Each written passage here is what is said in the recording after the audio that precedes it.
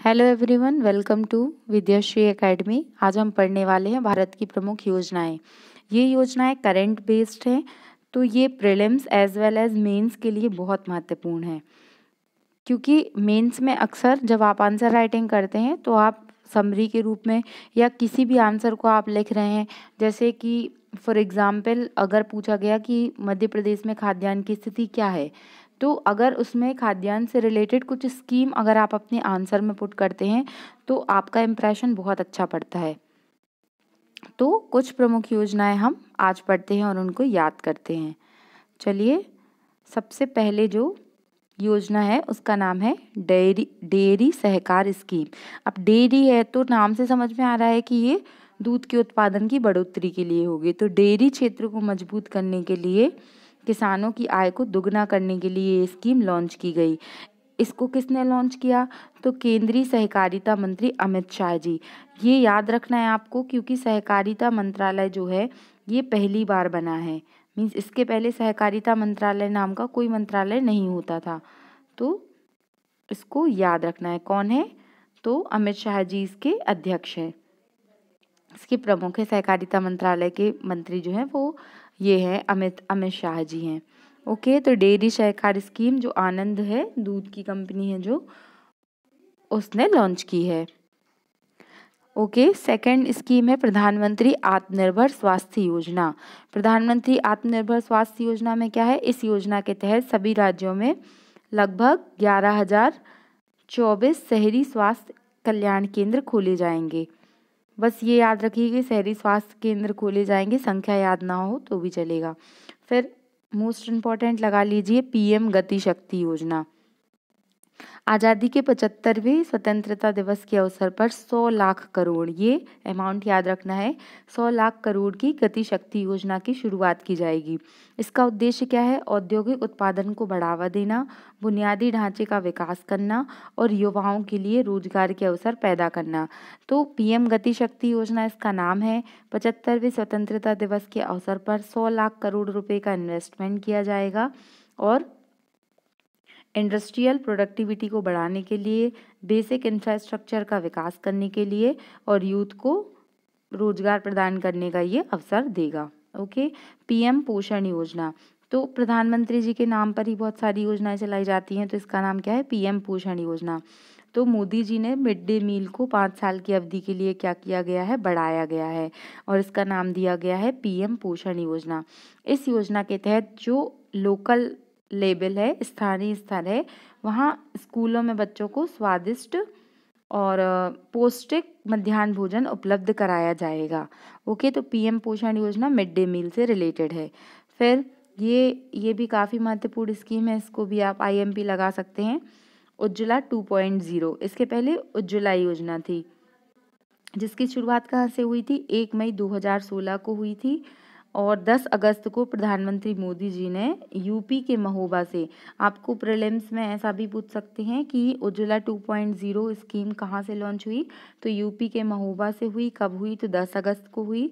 इसके तहत 2.0 वर्जन शुरू किया गया है। इसके इसके तहत क्या होगा कि लब, जो लाभार्थी हैं उनको सिलेंडर के साथ चूल्हा भी फ्री मिलेगा। तो ये आप याद रखिएगा। पीएम केयर फॉर चिल्ड्रन योजना। PM care children PM care for children scheme क्या है? इसके तहत कोविड नाइन्टीन के दौर में कोविड नाइन्टीन के कारण, जिन बच्चों ने अपने पेरेंट्स को खो दिया है, अपने माता पिता को खो दिया है, उनको पीएम केयर के तहत दस लाख रुपए दिया जाएगा। दस लाख का उनका कोष तैयार किया जाएगा। ओके, फिर नेक्स्ट न्यूज़ है ई हंड्रेड तो ये प्रधानमंत्री मोदी जी ने पर्यावरण संरक्षण के लिए, इसमें क्या है? ई हंड्रेड परियोजना के तहत एथेनॉल उत्पादन के वितरण को नेटवर्क स्थापित किया जाएगा। एथेनॉल प्रोडक्ट एथेनॉल उत्पादन तथा उसके वितरण का नेटवर्क बनाने के लिए ई हंड्रेड स्कीम लागू हुई है।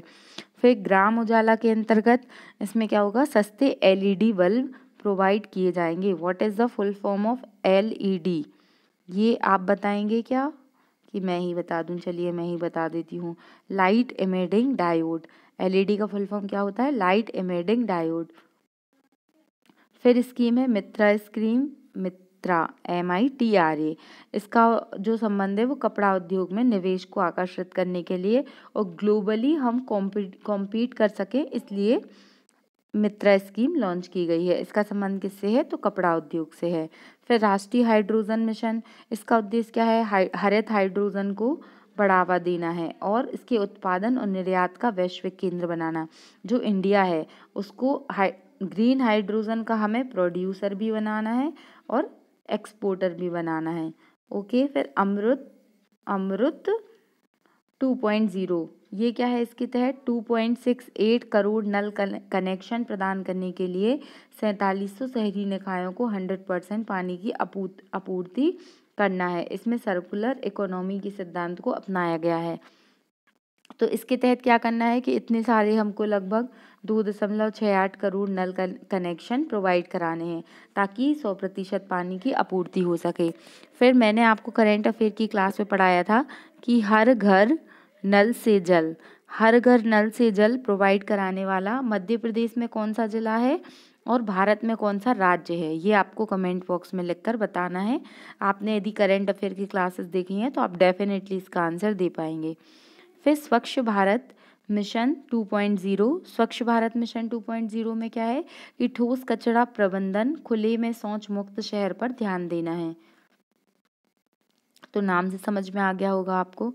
फिर पावर थॉन ये इतना इम्पोर्टेंट नहीं है। तो आपने इस, इसमें याद रखिए कि आपको कौन कौन सी स्कीम बहुत अच्छे से पढ़ना है। वैसे तो सभी पढ़ना है, लेकिन जो पीएम गति शक्ति योजना है, इसको स्पेशली याद रखें आप। उज्ज्वला टू पॉइंट ज़ीरो है, इसको भी अच्छे से याद रखिए। और यहाँ पर कौन सी स्कीम बहुत महत्वपूर्ण है? अमृत मिशन और राष्ट्रीय हाइड्रोजन मिशन, इनको भी याद रखना है। ओके, फिर आ जाइए, ये मध्य प्रदेश की अभी पढ़ेंगे स्कीम। फिर यहाँ पर कौन कौन सी मंत्रालय ने कौन कौन सी स्कीम निकाली है, ये बताया गया है। तो नागरिक उड्डयन मंत्रालय। नागरिक उड्डयन मंत्रालय की स्कीम है कृषि उड़ान टू पॉइंट ज़ीरो। कृषि उड़ान टू पॉइंट ज़ीरो, इसका संबंध जो है कि जो नॉर्थ ईस्ट वाले राज्य हैं, उनमें किसानों को कृषि पद्धति, कृषि उत्पादों की परिवहन को सहायता देनी है। तो क्या है कि बाकी राज्यों में तो विकास फिर भी हो रहा है, लेकिन जो नॉर्थ ईस्ट है, वो डेवलपमेंट से काफ़ी पीछे हैं। तो उनको हमें मुख्य धारा में लाना है। तो वहाँ पर क्या है? वहाँ पर बहुत सारी पहाड़ियाँ हैं। तो पहाड़ी क्षेत्रों में जो किसान हैं, उनको कृषि उत्पादों के जो आवागमन होता है, जो परिवहन होता है, ट्रांसपोर्टेशन होता है, उसमें काफ़ी दिक्कत होती है। तो उन, उनकी कनेक्टिविटी को बढ़ाने के लिए ये Krishi Udan two point zero scheme launch की गई है। फिर महिला एवं बाल विकास मंत्रालय ने वन स्टॉप सेंटर लॉन्च किया है, जिसमें किसी भी प्रकार की हिंसा से पीड़ित महिलाओं की सहायता करना इसका उद्देश्य है। अगर किसी भी हिंसा की, किसी भी प्रकार के वायलेंस की महिलाएँ शिकार होती हैं तो उनके उनके लिए सहायता उपलब्ध कराएगा वन स्टॉप सेंटर। फिर महिला एवं बाल विकास मंत्रालय की दूसरी योजना है स्त्री मनोरक्ष परियोजना। जो घरेलू हिंसा का सामना कर रही महिलाएँ हैं, वो मेंटली उनकी जो मेंटल हेल्थ है, उसको स्टेबल करने का काम करती हैं। तो इसका नाम ही है स्त्री स्त्री मनोरक्ष योजना। फिर पृथ्वी एवं विज्ञान मंत्रालय, इसके तहत डीप ओशन मिशन नाम से समझ में आ रहा है डीप मीन्स गहरा ओशन मीन्स समुद्र, जो सागरीय संसाधन है। जो ओशियन में जो रिसोर्सेज हैं, उनका क्या करना, सतत उपयोग हेतु गहरे समुद्र का पता लगाना। क्योंकि जो मिनरल्स हैं, जो गैसेज हैं, वो समुद्र के अंदर है तो हमें उनका सस्टेनेबल तरीके से यूज़ करते हुए उनके बारे में हमें पता लगाने का काम डीप ओसन मिशन के तहत करेंगे। फिर इंपॉर्टेंट है ये, प्रोजेक्ट बोल्ड आपको थ्री मार्कर में भी पूछा जा सकता है। अक्सर ऐसा लगेगा नाम सुन के कि ये कोई सशक्तिकरण से रिलेटेड होगा बट ऐसा नहीं है। खादी और ग्रामोद्योग आयोग है और जो आदिवासी हैं जो ट्राइब्स हैं, उनकी आय को बढ़ाने के लिए ये शुरू किया गया है। और इसका संबंध किससे है? तो बेम्बू प्रोडक्शन से इसका संबंध है। यहाँ पर बोल्ड का फुल फॉर्म है। बेम्बू ये फुल फॉर्म याद करने की ज़रूरत नहीं है आपको। बस आप ये रखिए कि किसानों की आय को दोगुना करेगा और आदिवासी क्षेत्रों में बाँस की उत्पादकता को बढ़ाना इसका उद्देश्य है।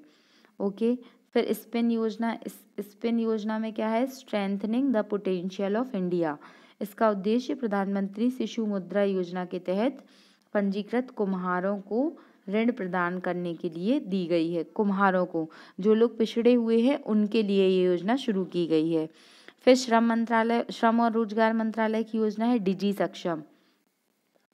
तो ये श्रम और रोज़गार मंत्रालय ने माइक्रोसॉफ्ट के साथ डिजिटल कौशल कार्यक्रम लॉन्च किया है, जिसका नाम क्या है? डिजी सक्षम।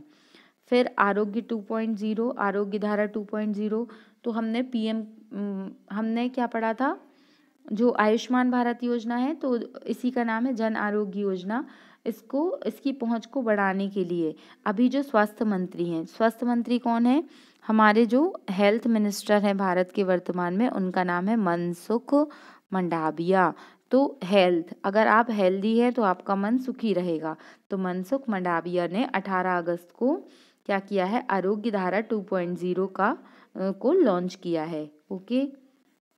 फिर स्वास्थ्य एवं परिवार कल्याण मंत्रालय की एक और स्कीम है।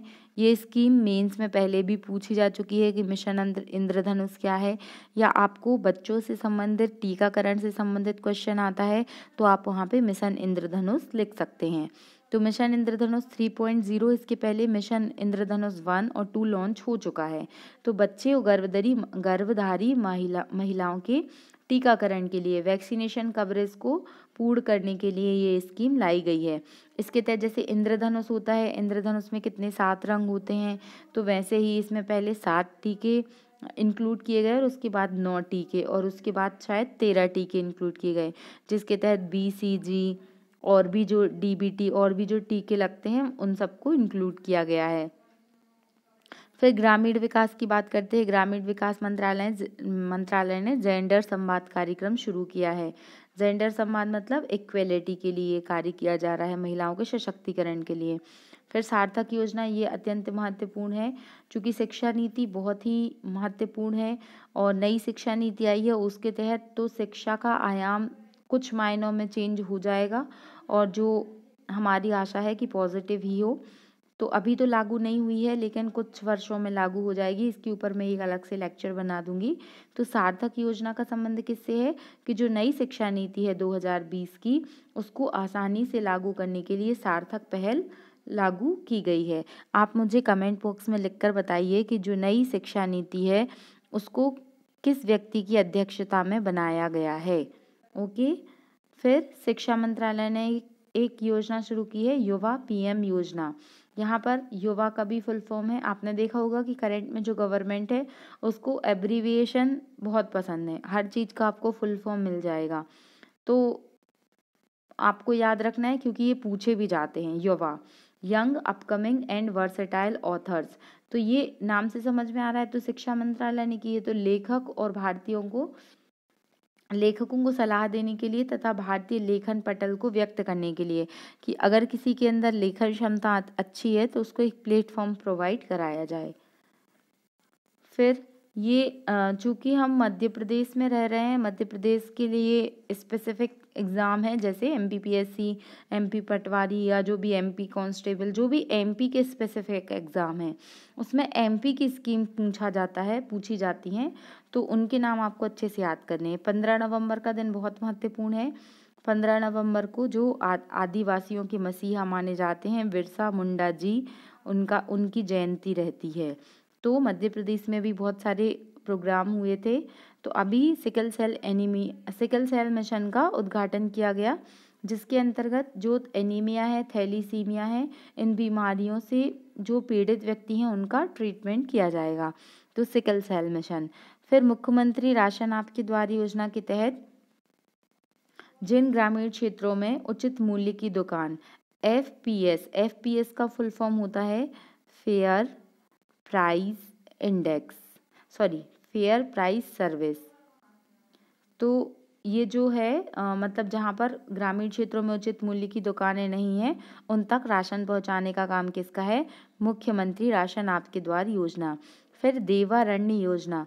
दे देवारण्य योजना क्या है? आयुर्वेदिक दवाओं के उत्पादन के लिए जो औषधीय पौधों की खेती करते हैं आदिवासी क्षेत्र के लोग, उनके लिए विभिन्न प्रकार के अवसर प्रोवाइड कराने का कार्य है देवारण्य योजना का। लाडली लक्ष्मी योजना, मोस्ट आईएमपी ये क्वेश्चन आपको पेपर में छपा मिलेगा। लाडली लक्ष्मी योजना के तहत जो पहले क्या होता था कि स्कूल तक इसका कवरेज दिया जाता था। अब कॉलेज और यूनिवर्सिटी में प्रवेश लेने के लिए कितने पैसे दिए जाएँगे? छात्राओं को बीस हज़ार बीस से पच्चीस हज़ार तक की राशि है। आप मुझे कमेंट बॉक्स में एग्जैक्ट बताइए कि लाडली लक्ष्मी योजना के तहत क्या चेंजेस हुए हैं और कितनी राशि अब वर्तमान में दी जाएगी कॉलेज और यूनिवर्सिटी में पढ़ने के लिए। फिर अंकुर योजना। तो अंकुर योजना का जो आ, जो रिलेशन है वो वृक्षारोपण से है। वृक्षारोपण को प्रोत्साहन दिया जाएगा और इसके तहत यदि आप पौधा लगा के सेल्फी अपलोड करते हैं तो आपको प्राणवायु पोर्टल प्राणवायु पुरस्कार भी दिया जाएगा।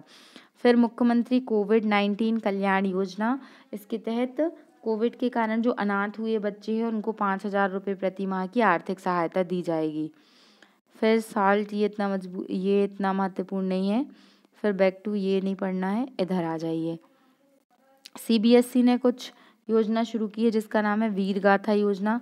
वीर गाथा नाम से समझ में आ रहा है कि जो वीर हुए हैं लोग जो स्कूलों में वीरता विजेताओं के पुरस्कारों को, जो जिन वीरों ने अपना बलिदान दिया है या फिर कुछ बहुत ही ऐसा कार्य किया है जो सराहनीय है तो उनको याद करने के लिए उनकी गाथाओं मतलब उनकी जो जो भी उनका योगदान है, उसको क्या पढ़ाया जाएगा स्कूलों में वीर गाथा योजना के तहत। फिर सामाजिक न्याय और अधिकारिता मंत्रालय। सामाजिक न्याय और अधिकारिता मंत्रालय के वर्तमान में मंत्री कौन है, ये आपको कमेंट बॉक्स में लिखकर बताना है। फिर इसमें बहुत सारी योजनाएँ लॉन्च की है, जैसे स्माइल योजना। तो स्माइल योजना का जो संबंध है, वो जो ट्रांसजेंडर समुदाय के लोग हैं, या फिर भिकारियाँ या भिकारियों को कानूनी और सामाजिक सुरक्षा प्रोवाइड कराने का काम स्माइल योजना के अंतर्गत है तो स्माइल।